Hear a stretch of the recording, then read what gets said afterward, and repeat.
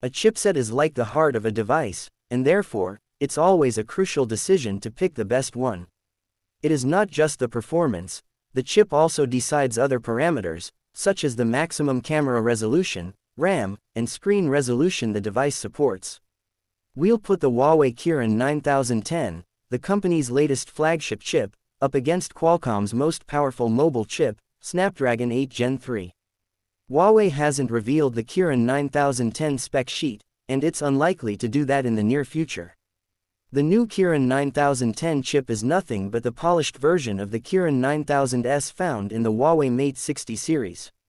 For some reason, Huawei has underclocked the Kirin 9010's prime core, which operates at 2.3 GHz.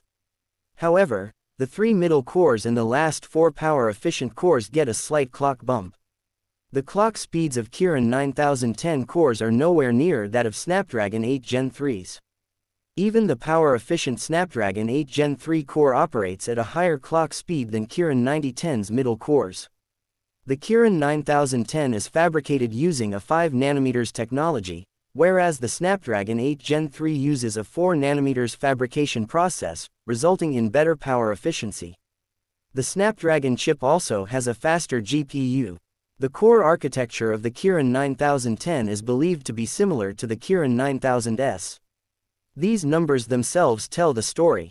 There's a significant performance gap between the Snapdragon 8 Gen 3 and Kirin 9010 chipsets, with the Snapdragon 1 leading the race.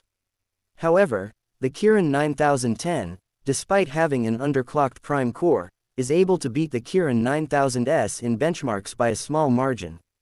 But, the Snapdragon 8 Gen 3 is far ahead in the race.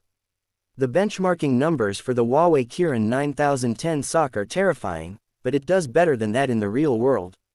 The Huawei P70 Ultra, powered by the same chip, was able to handle Genshin Impact fairly well.